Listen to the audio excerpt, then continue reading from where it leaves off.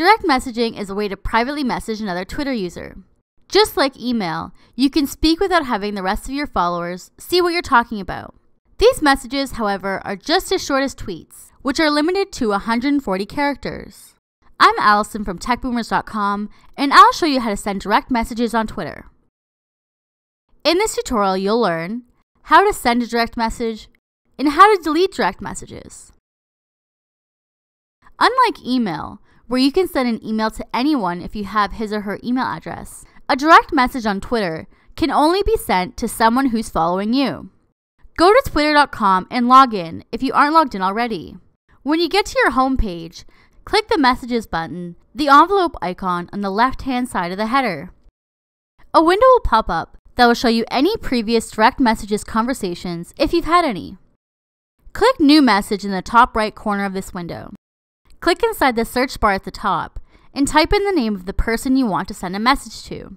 Click their name to select them. Click Next. Then, click in the box at the bottom of the screen and type in what you want to say. When you're done, click Send Message.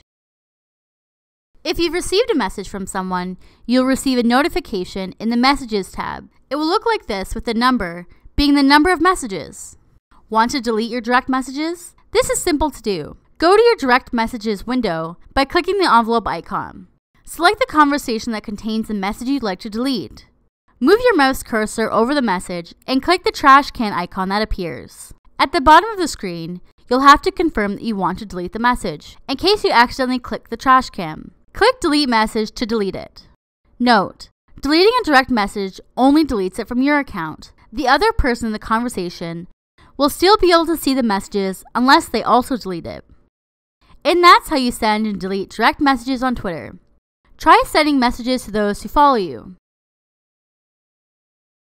Want to learn more about Twitter? Click here. Want to check out tutorials and other great sites? Click here. Subscribe to our channel to stay up to date with the latest video tutorials.